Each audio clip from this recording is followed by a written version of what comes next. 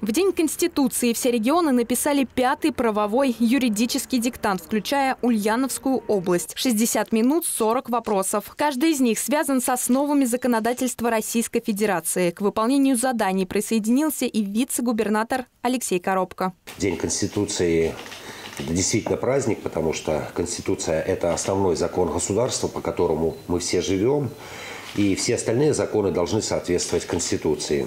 Кроме того, базовые законы должны быть доступны каждому. Для студентов юрфака Ульяновского госуниверситета, которые проходили тестирование в родном вузе, диктант – очередная возможность закрепить теоретические знания. Это подтверждает статистика. У большинства студентов оценка не ниже 85 баллов из 100 возможных. Базовые знания мы им даем э, в стенах университета.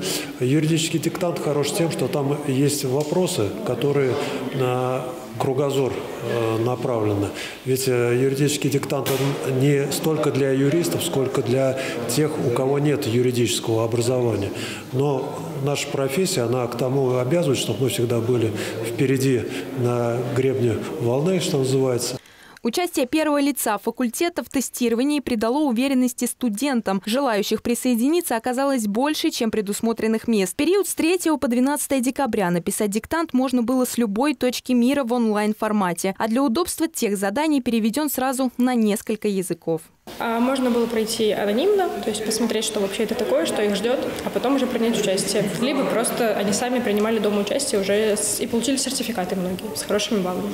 Впервые в Ульяновский юридический диктант прошел в 2017 году по инициативе местного отделения Ассоциации юристов России. С каждым годом число участников увеличивается в десятки раз. Все больше и больше участвуют. В том году вообще написали около 500 тысяч человек. В этом уже году миллион написал.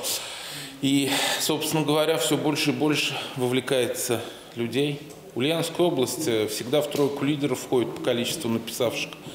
Несмотря на численность, многие регионы превосходят, которые по количеству людей э, проживающих, однако количество написавших превосходит. Главное условие – при выполнении заданий нельзя пользоваться внешними источниками информации. Весь расчет – лишь на собственные знания. Александра Никитина, Сергей Кудаков, Улправда ТВ.